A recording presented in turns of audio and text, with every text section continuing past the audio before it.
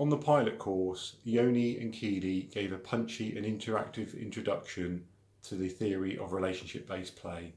We thought it was really good to discuss this with the trainers and fellow parents, and we felt this helped really bring it to life.